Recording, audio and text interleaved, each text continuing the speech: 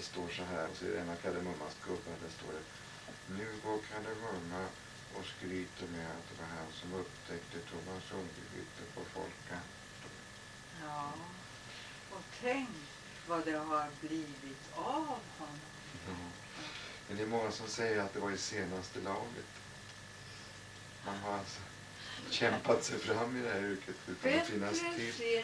Aldrig. Förstärkarklockan på utsidan av huset skär som en ljudband genom fåglars sång och vågors kluck. Jag springer allt vad jag orkar för det kan ju vara någonting trevligt. Det visar sig vara en kvinna. En dam eller kanske ett fruntimmer. Hon skriker så högt så att jag först inte hör vad hon säger. Men när jag håller luren långt ifrån örat så blir det något. Sofia utanför verandatrappan skyndar sig in med runda ögon. Vad står på? Har mormor gjort sig illa? Nej, mormor står bara där med öppen mun och försöker säga någonting men hon får inte en syl i vädret. Östermalm. Övre, tänker hon. Men damen hon bor på Kungsholmen framför. Ack dessa inrotade fördomar. Hon är mycket, mycket upprörd. Hon har sett i TV en sån här nyfattig familj som måste begära socialbidrag för att klara sig med sina tre barn. Men vad hade de på bordet? Jo, köpeflingor. Och barnen satt och öste på sylter och syltburkar, den där lilla typen som blir så dyrbar i längden. Och mamman drack pulverkaffe och hade nagellack. Och alla drack juice.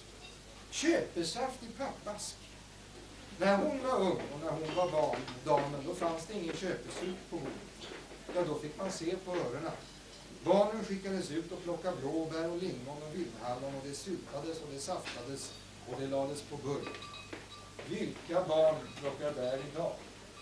Varken barn eller vuxna, de gitter plockar. För vi köper lingon från Tyskland och kanske till och med som sylt. Är det inte skandal?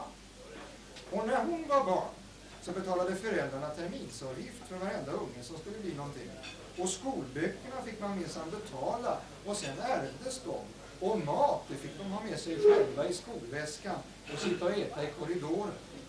Och kläderna de övertogs från barn till barn och strumporna stoppades och nådde den som inte var rädd om sina saker. Men de här nyfattiga barnen, de hade alla sprillans nya kläder, ropade damen, som nu började bli lite hes. Det förstod man på att de var i de allra trendigaste färgerna och verkade komma direkt från hennes och Maurits. Min make, sa hon, var i det militära och där var de sju lönerna inte feta. Han var med på hösten ute och plockade svampar som jag konserverade och nypon som vi torkade och sen skulle de stötas och så kokte man dem och så silade man till te. Och det var nyttigare än alla vitaminer som man nu proppar i sina ungar och köper för dyra pengar i hälsokosten. Jag lyssnade inte längre. Men i sak så hade hon väl rätt. Vi är ju så väldigt bortskämda. Det var Elander som skämde bort oss med välfärdssamhället. Och nu så tror vi att det ska kunna fortsätta i evighet. Jag kände igen mycket av det hon skrev. Vi tillhörde antagligen de där sista fattiga med vända kläder och hår på kängorna och ärvda böcker och fyra hårda smörgåsar, kakao och socker blandat i en burk och en liten flaska mjölk som man skakade och skakade i hopp om att om man genom något mirakel skulle förvandla sig till riskgrädde. Det var skolfrukosten det. Och inte en smula av den gick i sopvinken. Och 100 kronor per termin, det var en fruktansvärt summa pengar. Och det var inget barnbidrag eller bostadsbidrag och det var inga föräldrapenningar. Det var ingen bil och ingen TV och ingen semester på Solkusten. Men hur kunde vi ha så roligt? Hur kunde vi vara så lyckliga? Vi måste finna vårt eget svar. Var och en sitt eget svar.